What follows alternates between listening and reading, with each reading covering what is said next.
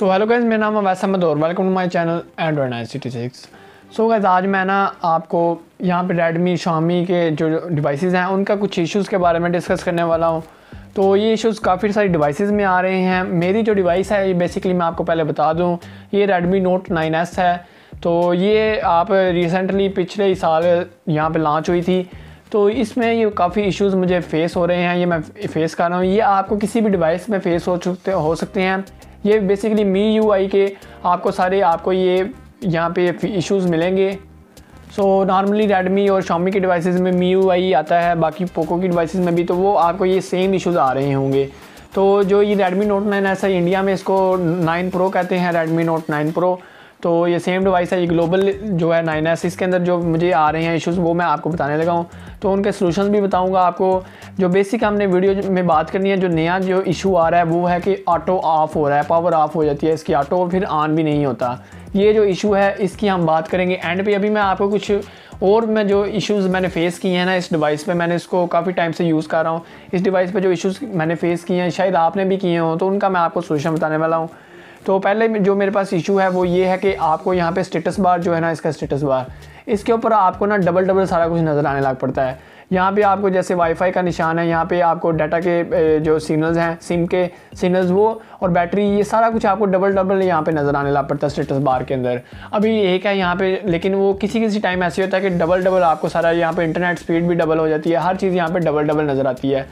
तो वो, ये जो आपको भी ये मुझे लगता है कि आपको किसी ना किसी को तो ये इशू आया होगा। इसका सोल्यूशन क्या है? इसका सोल्यूशन यही है कि आपको दोबारा अपने मोबाइल को यहाँ पे आपको पावर ऑफ़ करके फिर ऑन करना पड़ेगा। ठीक है, ये बेसिक एक ये बात होगी। उसके बाद नेक्स्ट जो प्रॉब्लम ये है इस डिवाइस की, इस डिवाइस की है या किसी और डिवाइस में भी ये इशू आ सकता है? अभी नहीं आया तो आ सकता है। इसका ये है कि मसला ये रीबूट नहीं होती। जब भी मैं इसे रीबूट पे लगाता हूँ ना रीबूट पे चला तो जाता है, लेकिन बाद में ऑन ही नहीं होता रीबूट में। तो आप किस डिवाइस के साथ भी ऐसा ही होता है, या अगर आप ऐसे करते हैं कि रीबूट का, या पहले तो इसका सोल्यूशन ये है कि आप रीबूट करें ही ना। Redmi Note nine S nine series को तो रीबूट करें ही ना, क्योंकि ये ऑन नहीं होती रीबूट करें। तो अगर आपने गलती से रीबूट कर दिया, अब आप परेशान हो गए हैं क्योंकि आपकी डिवाइस ऑन नहीं हो रही। अब आपने करना क्या है? सिंपल आपने पावर की को प्रेस करके रखना है तो आपकी दोबारा से डिवाइस बूट होगी और ऑन हो जाएगी। सिंपल ये हो गया। अब नेक्स्ट जो मेरे पास ये इशू है, वो है ये डिवाइस जो रेडमी नोट नाइन एस है, ये फास्ट चार्जिंग को भी सपोर्ट करता है। लेकिन फास्ट चार्जिंग को सपोर्ट तो करता है, लेकिन इसके अंदर जब भी मैं चार्जर यहाँ पे लगाता हूँ, यहाँ पे फास्ट चार्जिंग नहीं आता। यहाँ पे आम चार्जिंग आती है फास्ट चार्जिंग को पहले फ़र्स्ट टाइम तो ये उसको एक्सेप्ट ही नहीं करता।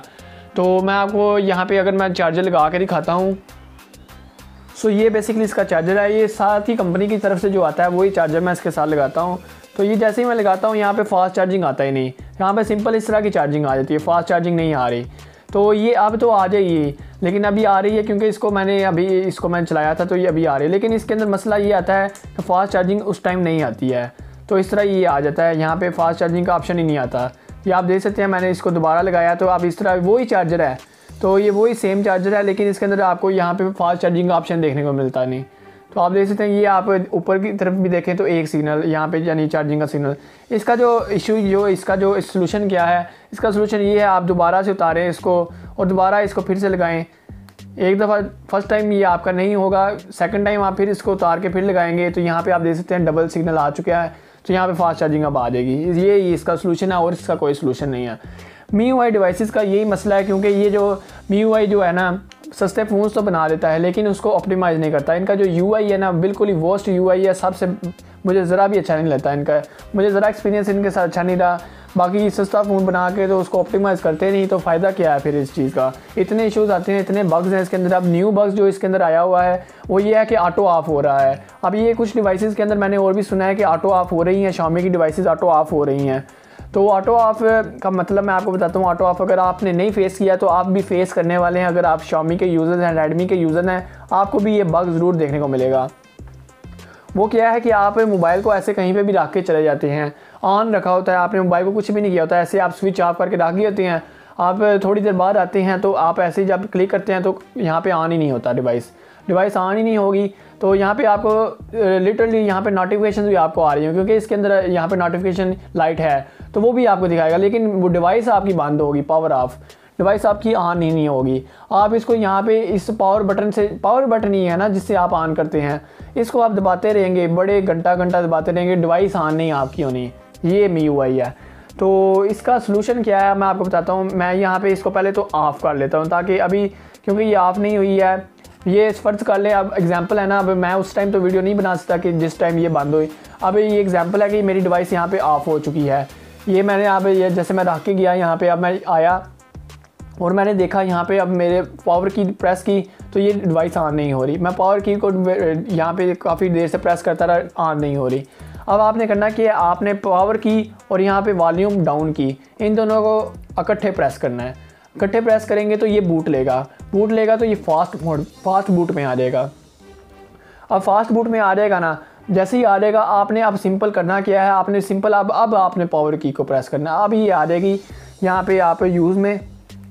तो अब आपकी यहाँ पे आपका डिवाइस बूट लेगा फिर से और डिवाइस ऑन हो जाएगी। तो हम करते हैं ऐसे ही। तो ये डिवाइस ऑन हो जाती है। तो इसका यही अभी तक सोल्यूशन है, क्योंकि शामी वगैरह ने यहाँ पे ये आप देख सकते हैं ऑन हो चुका है। तो उन्होंने तो कोई इसका सोल्यूशन अभी निकालना कोई नहीं।